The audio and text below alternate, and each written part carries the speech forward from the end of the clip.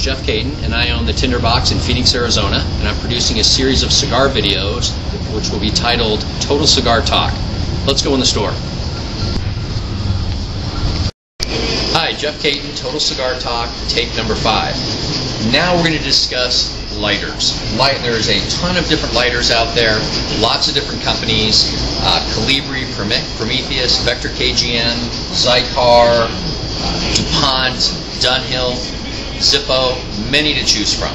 Uh, lots of different styles and shapes, lots of different price points, uh, three different flame types, which we'll go over in a second.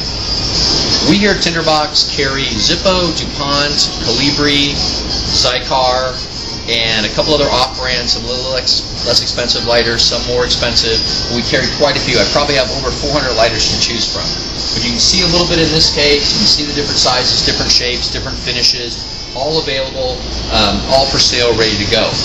I also have some tabletop lighters to choose from. You got various, again, size and shapes, different price points, lots of different choices uh, depending on what you're looking for. But what I'm going to go to uh, talk about right now, what I'm going to go over right now, is the types of lighters and how to fill them. There's basically three different types of lighter flames. There is the basic flame, which is your basic, just everyday old, old candle flame.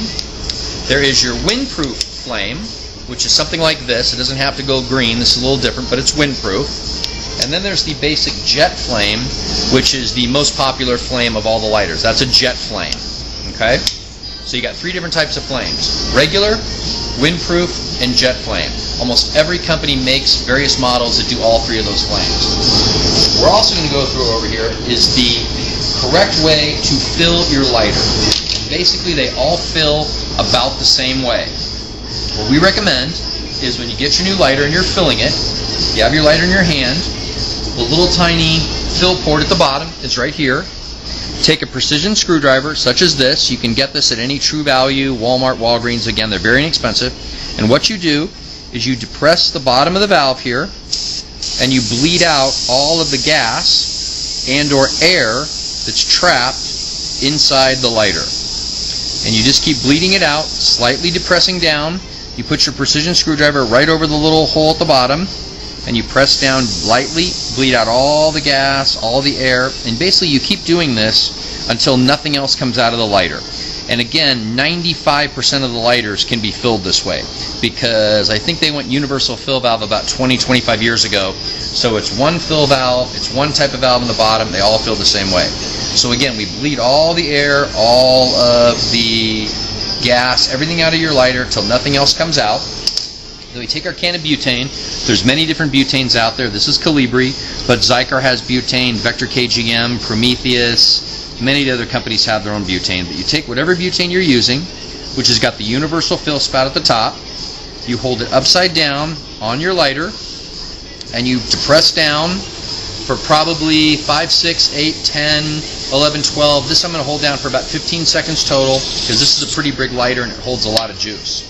So after you fill up your lighter and it's full, the butane will be a little colder, so we recommend that you wait just a little bit, let it warm up in your hands before you try lighting it and make your adjustments to the flame. But once it warms up a little bit, you should be able to hit the button. It should light, no worries. If you need to make a flame adjust, now would be the time to do that. You can turn different things. Some lighters adjust different ways. This one adjusts here. This is a tabletop, almost a creme brulee torch.